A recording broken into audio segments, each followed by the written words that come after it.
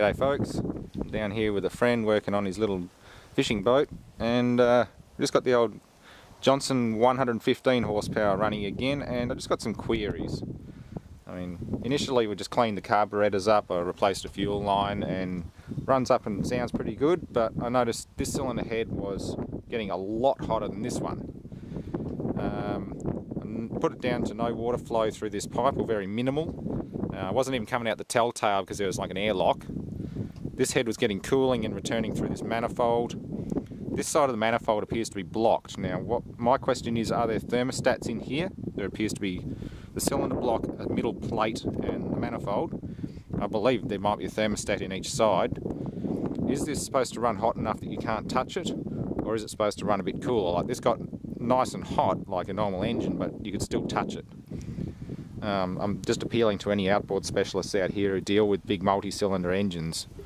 Um, I'm more a, four-stroke person myself, and yeah, I'd just like to know how well, how, do, how hot are they supposed to run? Are you supposed to be able to put your hand on the head? Um, are there thermostats in there that might be stuck or corroded? Like this thing hasn't been opened in quite a while. It's quite evil inside. And yeah, just general information on this engine. I mean, it idles and runs superbly. It's just, yeah, just having cooling issues at the moment. With these hoses off, I get water spewing out both heads and the telltale quite nicely.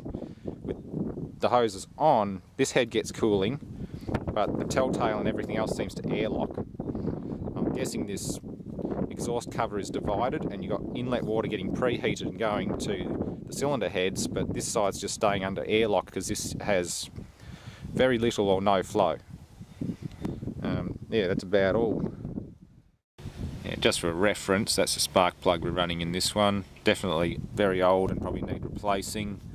I'm mainly just using this as a reference for what I need to shop for. Yeah, the same types. NGK. Coils look acceptable. The wiring isn't too bad. Yeah, serviceable. It's old. The whole boat's pretty old, but it's very serviceable still and a lot of fun. Starter motor again, the ring, the pinion's a bit chomped, but it works. Um, yeah, everything works.